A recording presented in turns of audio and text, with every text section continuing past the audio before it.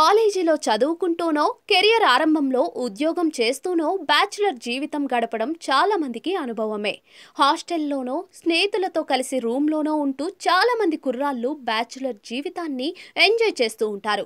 చాలామంది స్వయంగా రూమ్లో ఉండి వంట కూడా చేసుకుంటూ ఉంటారు. ఆ సమయంలో కుర్రాళ్ళు పడే పాటలు వారు వేసే ప్లాన్లు చాలా ఫన్గా ఉండి ఇతరులను ఆకట్టుకుంటాయి. ప్రస్తుతం అలాంటిదే ఓ వీడియో సోషల్ మీడియాలో వైరల్గా మారింది. వైట్ డస్ట్ ట్వంటీ టూ అనే ఇన్స్టాగ్రామ్ హ్యాండిల్లో ఈ వీడియో షేర్ అయింది. వారు వెరైటీగా చేస్తున్న వంట చాలా మందిని ఆకట్టుకుంటోంది. ముగ్గురు కుర్రాళ్ళు చాలా వెరైటీగా పూరీలు చేస్తూ ఉన్నారు. ఒక కుర్రాడు పూరి పిండిని వెరైటీగా కలిపి మరొకరికి ఇస్తూ ఉన్నారు. ఇంకో కుర్రాడు పూరిని ఒత్తి గోడకు అంటిస్తున్నాడు. ఆ గోడ నుంచి మరో కుర్రాడు పూరీని తీసి పెనంలోకి విసురుతూ ఉన్నాడు. పూరీని వేయించిన తర్వాత వాటితో కలిసి వీడియోలకు పోజులిస్తూ ఉన్నారు. ఈ ఫన్నీ వీడియో సోషల్ మీడియాలో వైరల్గా మారింది. ఈ వీడియో చాలా మందిని ఆకట్టుకుంటోంది.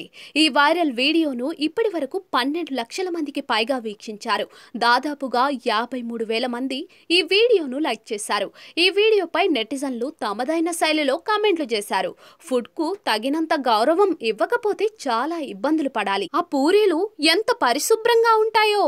బ్యాచులర్ లైఫ్ ఇలాగే ఉంటుంది అంటూ నెటిజన్లు ఫన్నీ కామెంట్లు చేస్తూ ఉన్నారు.